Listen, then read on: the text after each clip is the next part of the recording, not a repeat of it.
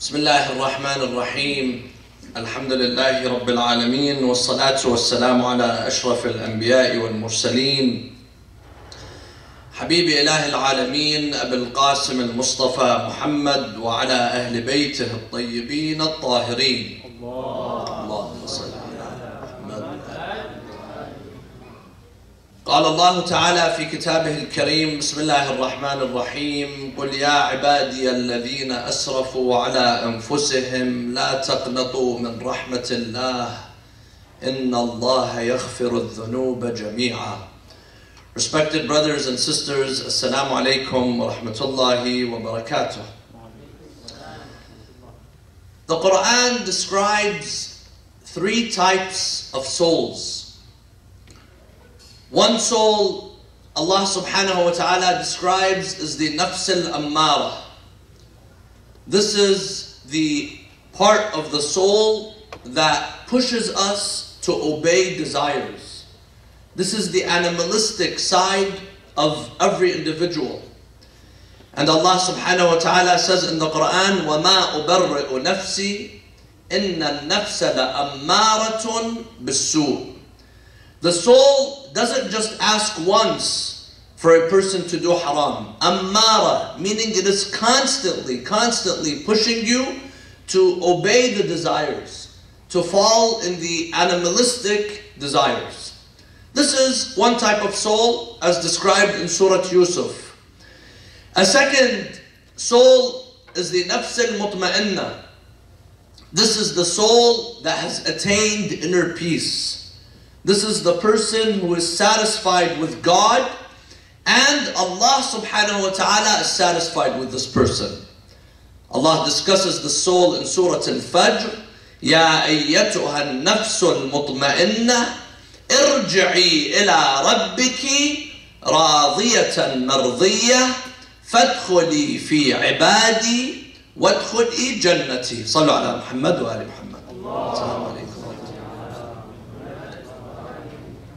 This is the part of the soul that is connected with Allah subhanahu wa ta'ala. The person who has built a strong bond with his Lord and the person is pleased with God and God is pleased with this person. And then there is a third soul. And this third soul, third part, dimension of a person, this is very necessary in order to go, travel from the nafs al-ammara to the nafs al-mutma'inna. How do I reach from the nafs al-ammara, the animalistic side, to being at a level where I am satisfied with God and God is satisfied with me. That is through the third soul. What is the soul? This is the part of the person that is described in Surah Al-Qiyamah. Allah subhanahu wa ta'ala says in the Quran, Bismillah ar-Rahman ar-Rahim, لا أقسم بيوم القيامة ولا أقسم بالنفس اللوامة. This is the self-reproaching soul. This is the part of every person that feels regret and shame after falling in the haram. And this is a natural gift that Allah subhanahu wa ta'ala has given every single one of us. If we do haram, maybe the person could be smiling in front of the whole world, acting like nothing has happened, but deep inside, at some point in this person's life, they feel the guilt and they feel the shame. This is the nafs al-lawama. This is the self-reproaching soul. This is the gravity that brings you back to Allah subhanahu wa ta'ala. And subhanallah, Allah subhanahu wa ta'ala has created us with this gift that brings us back to Allah after we have done wrong. And this is a blessing from Allah that He's given us these sensors where whenever we fall in the haram, whenever we do something wrong, we have these sensors that tell us, no, this is wrong. You need to go back to Allah subhanahu wa ta'ala. And if you have fallen in haram and you feel this guilt and you feel this shame, know that God is blessing you. Know that Allah subhanahu wa ta'ala is showing mercy to you. Because if you don't feel the guilt, if you don't feel the shame, then that means you have fallen in so much haram that these sensors, these trigger warnings don't work anymore. You know, criminals, when a criminal commits a crime, the first time they commit the crime, they can't sleep that night. Especially if it's a, an act of oppression, if it's hurting people. They can't sleep that night. Maybe a night, maybe a week, maybe a month. But once a person starts breaking the boundaries and oppressing so much, those triggers don't work anymore. That warning, that sensor does not work anymore. That sensor is what Allah subhanahu wa ta'ala describes as the nafs al-lawamah. لا أقسم بيوم القيامة ولا أقسم بالنفس اللوامة. So we need that to be functioning. We need that part of our soul to work so that we can travel, go on a journey from the nafs al-ammara to the nafs al-mutma'inna through the nafs al-lawama. Now, my dear brothers and sisters, one of the ways that this nafs al-lawama works is that it tells us to feel the guilt. We feel the shame after we've done something wrong. Maybe the whole world, maybe no one sees it. But between me and Allah, I feel that I've done something wrong. I feel the guilt and the shame. And this is healthy, my dear brothers and sisters.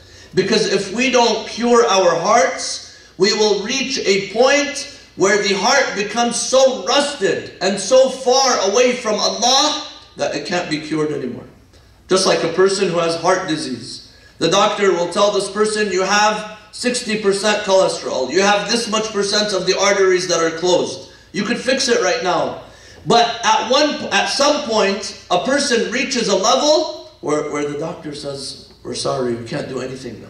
Now you need a heart transplant. Allah subhanahu wa ta'ala says that the sins, they have that same effect on our heart, on our soul. Kalla, بل ران على قلوبهم ما كانوا يكسبون. This heart, it slowly gets filthy and filthy and filthy. Eventually, this heart is incurable. Eventually, this heart can't be fixed anymore. But there's a method to cure our hearts. Just like the heart doctor will come and tell you, you go and you take this medicine and you do this exercise and you do this, you will be able to slowly fix the damage that has been done to the heart. You can fix the damage that has been done to the soul through what? Through istighfar. Through the means that Allah subhanahu wa ta'ala has provided for us. The door of mercy that Allah subhanahu wa ta'ala has left for every single one of us, and that is through istighfar. And my dear brothers and sisters, we are lucky that we have a Lord that welcomes us, that tells us, even if you're a sinner, even if you have done something wrong, you will come back to me and I will give you a clean slate. And I will clean you of all of the wrong that you have done. You don't find this right now with friends, with family, with people around us. One time you hurt them, maybe they'll let it go. A second time, maybe they'll let it go. But after the third time, that's it. They're going to hold a grudge for the next 30, 40 years, they'll hold the grudge. They're going to continue reminding you of what you did. They're not going to forgive you. But Allah subhanahu wa ta'ala says, قل يا عبادي الذين أسرفوا على أنفسهم لا تقنطوا من رحمة الله إن الله يغفر الذنوب جميعا Allah says, tell this message to the sinners. Tell this to the sinners. الذين أسرفوا على أنفسهم. Don't give up hope in the mercy of Allah because Allah forgives all of the sins. Every sin Allah subhanahu wa ta'ala forgives. In another verse, Allah says, وَالَّذِينَ إِذَا فَعَلُوا فَاحِشَةً أَوْ ظَلَمُوا أَنفُسَهُم Those who have done a fahisha, a very bad sin. And here in the Quran, the eloquence of the Quran refers to fahisha in a sin that has to do with a sexual nature. And this is something that many people fall in. وَالَّذِينَ إِذَا فَعَلُوا فَاحِشَةً أَوْ ظَلَمُوا أَنفُسَهُم Or they have oppressed themselves, ذَكَرُوا اللَّهِ They remember Allah subhanahu wa ta'ala فَاسْتَغْفَرُوا لِذُنُوبِهِمْ And they repent, they ask Allah subhanahu wa ta'ala, and then Allah says, وَمَنْ يَغْفِرُ الذُّنُوبَ إِلَّا اللَّهِ And who forgives the sins other than Allah subhanahu wa ta'ala? وَلَمْ يُصِرُّوا عَلَى مَا فَعَلُوا وَهُمْ يَعْلَمُونَ And they don't insist on the sin. This is the key point here. When you want to repent to Allah, we can't play games with God. Maybe with people, we could go and say sorry and then do something behind their back, they won't notice. But with Allah subhanahu wa ta'ala, there's no room for games. وَلَا يُمْكِنُ الْفِرَارُ مِنْ حُكُومَتِكَ There's no escape from the government, from the power of Allah subhanahu wa ta'ala. Allah knows everything. So let us be real with God. Let us be sincere. Let us not try to play games with Allah subhanahu wa ta'ala. Because at the end of the day, it is our future, our eternal afterlife that is determined through our actions. And my dear brothers and sisters, tawbah is what Allah subhanahu wa ta'ala has allowed us to do. And Allah has not just allowed us to repent. Allah is happy when we turn to Him. The hadith says, إن الله تعالى أشد فرحا بتوبة عبده من رجل أضل راحلته وزاده في ليلة ظلماء فوجدها. Imagine you're traveling. You're traveling, you have your vehicle, you have your belongings, everything with you, and suddenly you lost everything in the middle of the night. You're lost. You have nowhere to go. You can't see anything. It's in the middle of the night. You start looking, you get worried, you start looking, then you find your belongings. Once you find your belongings, how happy will you be? You will be extremely happy because you're going to suffer without it. The hadith says God is happier when we return to Him and we say astaghfirullah. When we return to Him with tawbah and we do istighfar, Allah is happier than that person that found all of their belongings. And my dear brothers and sisters, when it comes to tawbah, we have to believe that Allah forgives all of the sins. There are a lot of people, I tell them, why don't you come to the masjid? Why don't you start praying? Why don't you go to Hajj? Why don't you do these wajibat, these expectations that Allah subhanahu wa ta'ala has from you? Many people, I've heard this personally, they say, Sayyid, we've done things that are so wrong that we feel guilty. We feel ashamed to go to the masjid. I can't go and repent right now. And this is a wrong mentality, my dear brothers and sisters. Maybe if we've hurt people, we don't have the face to go to them and face them and tell them we are sorry. But with Allah subhanahu wa ta'ala, you can't have that attitude. Because at the end of the day, you have to go back to Allah. At the end of the day, there's no one that forgives other than Allah subhanahu wa ta'ala. So we have to turn to Allah subhanahu wa ta'ala. And Allah is arhamur rahimin. Allah is the most compassionate, the most merciful. In fact, to assume, to think that God is not going to forgive you, that in itself is a greater sin than the sin that you committed. Let me tell you the story to try to understand the concept of the mercy of Allah subhanahu wa ta'ala. And this story is a reality. During the time of Imam Ali ibn Musa Rida alayhi salam, a man by the name of Abdullah al-Nayshaburi, he comes to Imam al-Rida and he tells him the story. He tells the Imam something that he has just experienced, he's just witnessed. He tells him a while ago, I went to visit the governor of Neshabur, the place where Imam al-Rida is buried today, Khurasan. That place, it's called Khurasan or Neshapur. The governor of that area is a man by the name of Hamid ibn Qahtaba. Hamid ibn Qahtaba. He was appointed by Harun, and then Harun was buried in his village, in his place, and then they buried Imam al-Rida next to Harun as well. So this man, Hamid ibn Qahtaba, he, this man, Abdullah al-Nayshaburi, he says, I went to visit Hamid ibn Qahtaba. And it was, like these days, the month of Ramadan. He says, I went during the day, I'm fasting, and I see Hamid ibn Qahtaba, he's sitting and they bring him food. And he starts eating. So I tell him, are you traveling or are you sick? He says, neither. I'm not traveling and I'm not sick.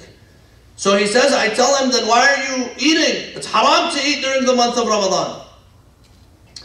He says, he looked at me, he tells me, I've reached a point in my life where it doesn't matter if I fast, if I pray, if I do halal, if I do the haram. Doesn't matter anymore.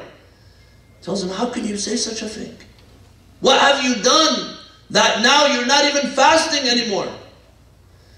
He tells him, I committed such a great sin that doesn't, doesn't matter anymore.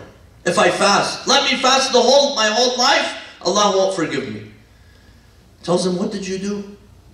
He says one day in the middle of the night, Harun, Harun was claiming to be the Khalifa of Rasulullah. And he ruled the Muslim world. Harun calls me in the middle of the night. He sends his guards to call me and his guard has a sword with him. He comes and he calls me. Harun tells me, Oh Hamid ibn Qahtaba, we have done this and this and this for you. We've served you. We've given you this power. What are you willing to do for us?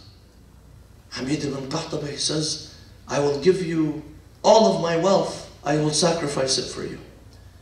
He said Harun was not happy with that answer. He tells me, go. He said, I go, I put my head on the pillow. Then a short while later, I get called once again. Harun wants to see you. He says, I go to Harun. Harun says, Oh Hamid ibn Qahtaba, what are you willing to do for us? He says, I will give my wealth and I will give my family and everything that I have for you. He said, Harun was not happy. He sends me back and then a while later he says, bring him again. He says, they bring me in the middle of the night and the, the guard next to him has his sword in his hand. He said, I began to shiver. Oh Hamid, what are you willing to do for us? For our government, for our power, for our authority? He says, I'm willing to give my wealth. I'm willing to give my family and I'm willing to sacrifice my faith for you. He said, when I said that, Harun smiled. Once he found someone who's willing to sacrifice his faith for him. Do the haram for him break the boundaries of God for him. He said, Is that so? Okay, you see this guard? You go and you follow him and you do everything he tells you to do. He said, In the middle of the night, I began to follow this guard until we entered into a house. That house had a garden in the middle. In the old Middle Eastern houses, they had a saha, a garden in the middle, and then there's rooms. He said, we op- he opened one of the rooms, and I see 20 men, they're tied up with chains, they're all crammed in this room. He says, The guard gave me the sword, and he tells me, Do what you have to do. You have to kill them. He said, I asked him, Who are these men? Who are these people? He said, These are the children of Ali ibn Abi Talib, Alawiyin. They are the descendants of Imam Ali. He said, I took the sword and I began to kill them one after the other, one after the other. And at first my hand was shaking, then I got used to it. I finished this room, he said, go and take the bodies and throw them in the well. And then he says, he goes and he opens another room. In the second room, there's also 20 Alawiyin, children of Ali ibn Abi Talib. He said, he gave me the sword and I began to kill them, one after the other, one after the other. He said, then we went to the third room. The third room also had 20. I began to kill them one after the other until I reached the last person. The last person was an old man. His eyebrows had covered his eyes because of his old age. He looked at me, he tells me, What are you going to answer our grandfather Rasulullah on the day of judgment? Where in one day you kill 60 Sayyids. In one day you kill 60 from the descendants of Rasulullah. He said, at that point it didn't matter anymore. I killed him, and now I've been living my life like this. Now it doesn't matter if I fast. It doesn't matter if I don't fast. It doesn't matter if I pray. Abdullah al-Nayshaburi, he says, I got up and I go to Imam al-Rida alayhi salam. He sees Imam al-Rida. He says, I tell Imam al-Rida what what Hamid ibn Qahtaba has just tells me, tell, tells, told me. He said Imam al-Rida began to cry and he says, Woe be upon him, waylun lah, waylun lah, waylun lah. And then Imam al-Rida, he says a statement. He says, إن يأسه من رحمة الله أكبر ذنبا من ستين من قتل ستين علوية. Imam al-Rida says a very powerful statement. He says, him losing hope in the mercy of Allah is a greater sin than killing 60 Alawis, 60 Sayyids. What does this mean? This means that Allah is merciful. We have to just turn to Allah. We have to just go to Allah subhanahu wa ta'ala and repent and seek the repentance from Allah. And my dear brothers and sisters, these days, these nights, the nights of the month of Ramadan, this is the night to do istighfar. These are the nights to turn to Allah subhanahu wa ta'ala and change our lives. Because the whole purpose of fasting is not just so that we starve ourselves. Allah doesn't want you to just go hungry. Allah wants you to make a transformation in life, in your life. كتب عليكم الصيام كما كتب على الذين من قبلكم لعلكم تتقون so that you reach the state of taqwa so that you change your life now my dear brothers and sisters how do I know whether God has forgiven me or not this is a question that a lot of people ask I did istighfar last Laylatul Qadr the, the year before that and the year before that and we keep doing istighfar how do we know if Allah subhanahu wa ta'ala has accepted our tawbah and has forgiven us. The first, my dear brothers and sisters, you will know if God has forgiven you if your tawbah was sincere or not. This is the scale. If you are sincere, you are genuine in your tawbah and your repentance, then that means God has forgiven you. If you are not sincere, then Allah subhanahu wa ta'ala has not forgiven you. Because Allah says in the Quran, يَا أَيُّهَا الَّذِينَ آمَنُوا تُوبُوا إِلَى اللَّهِ تَوْبَةً نَصُوحًا Be sincere when you repent to Allah. Don't play games with Allah subhanahu wa ta'ala. In another verse, Allah says, إِنَّمَا التَّوْبَةُ عَلَى الَّذِينَ يَعْمَلُونَ السُّوءَ بِجَهَالَةٍ Tawbah is for those who commit a sin bijahalatin, meaning that they weren't intending on it. This wasn't something that was premeditated. This was a sin. This was a, a mistake that we did. And we all fall in mistakes.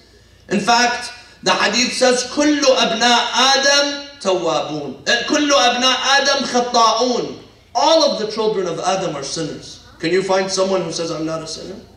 Every single one of us, we are sinners. كل أبناء آدم خطاؤون وَأَحْسَنُهُمُ التَّوَّابِينَ But the best of those sinners are the repenters.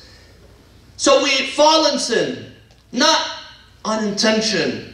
إنما التوبة على الذين يعملون السوء بجهالة ثم يتوبون من قريب and they repent immediately. Immediately repent. Don't let don't give it time to wait. In fact, the hadith says when a person, when a mu'min commits a sin, Allah tells the angels, don't write down what this person has done. If you've done something good, if you intend on doing something good, Allah tells the angels, write it down. Write it down for him. He's made the niyyah. She's made the niyyah. But if you do something wrong, Allah tells the angels, wait, give this person time.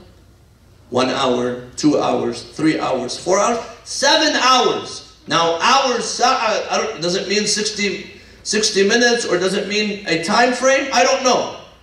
But Allah says, the hadith says, wait seven hours until you write it down. If this person repented before the seven hours, then don't even write it. It won't even be shown on this person's uh, report.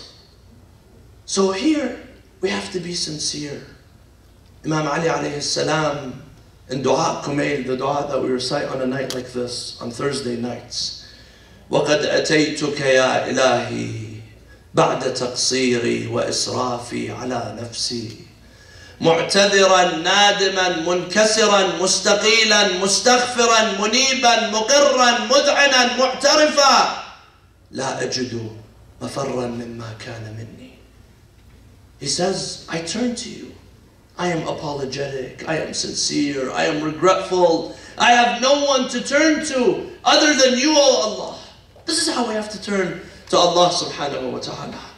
We have to make promise to change and we have to be sincere with that promise. This is one way when you know whether God has forgiven you. If you see that you are sincere, then Allah subhanahu wa ta'ala has forgiven you.